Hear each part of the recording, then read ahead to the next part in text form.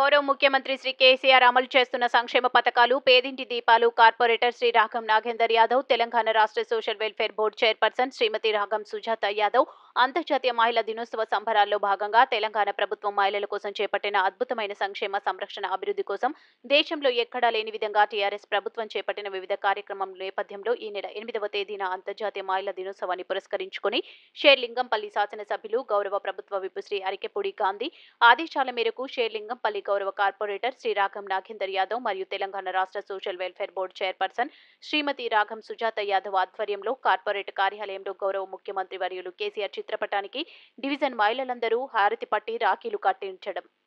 రాఖీలు కట్టడం జరిగింది. తర్వాత డివిజన్ పరిధిలోని పారిశుద్ధ్య కార్మికులు యూపీహెచ్ఎస్ డాక్టర్స్ మరియు సిబ్బంది సోషల్ వర్కర్లు ఆశా వర్కర్లు అంగన్వాడీ టీచర్లకు అంగన్వాడీ ఆయాలకు ఉత్తమ మహిళలకు ప్రభుత్వ పాఠశాల విద్యార్థులకు వార్డు మెంబర్లకు తదితర మహిళలను శాల్వాలతో సన్మానించి వారికి మెమంటాలు అందజేసి శుభాకాంక్షలు తెలియజేశారు. ఈ కార్యక్రమంలో టీఆర్ఎస్ పార్టీ సీనియర్ నాయకులు మహిళా సంఘాలు కార్యకర్తలు తదితరులు పాల్గొన్నారు.